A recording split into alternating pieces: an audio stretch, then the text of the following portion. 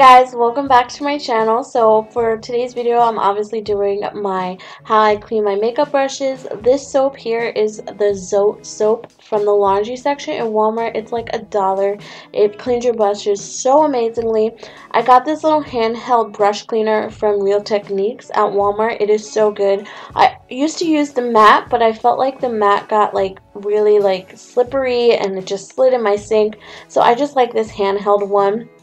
So all I do to clean my brushes is I just take the soap and I place it in the bottom of my sink.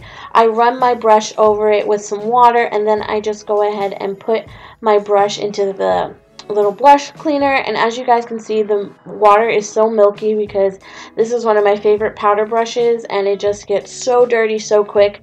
I definitely do not clean my brushes as often as I should. I don't think any of us really do but it is something for the new year that I really want to start doing at least twice a month so I'm definitely going to try and do that as well as wash my sponges which I will show you guys how I do that as well in a second. But as you guys can see here the soap really suds up the brush brushes and this soap is so inexpensive and you get such a huge block of it. I mean, I've had this soap, I feel like, for at least like a year and a half now and I use it to wash my brushes. I just store it in a plastic bag and it is just perfectly fine every time I need to use it. So I just go ahead and make sure to get all the water out of my brush. And as you guys can see, the bristles are now white, which is so amazing and it feels so good. So now I'm just taking this e.l.f. sponge. I think it's e.l.f. It might be Maybelline. I think it's Maybelline. Yeah, the Maybelline sponge.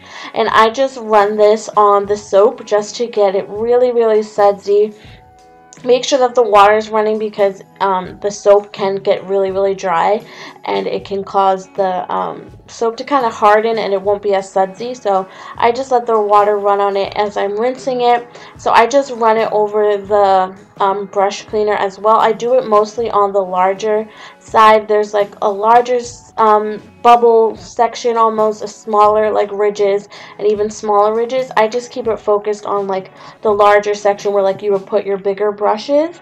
So I go ahead and do that and then I just make sure to rinse it under the water as well.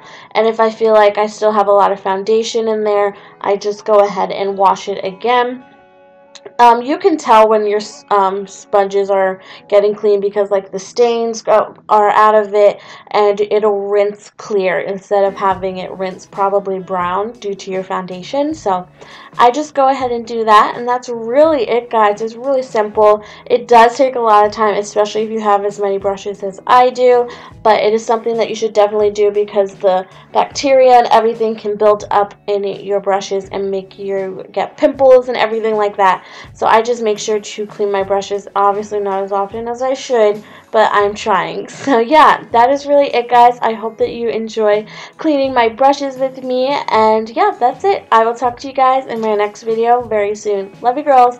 Bye.